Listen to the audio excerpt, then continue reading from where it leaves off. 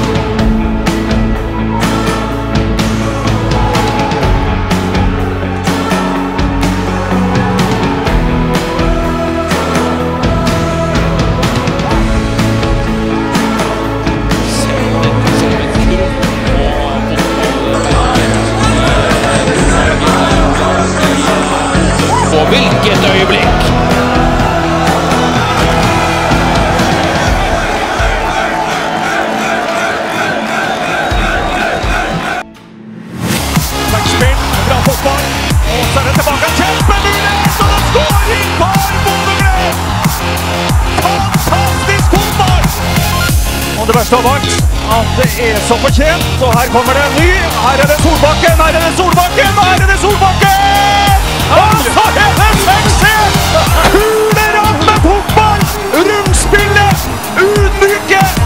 Filleriste! Laget til Jose Mourinho!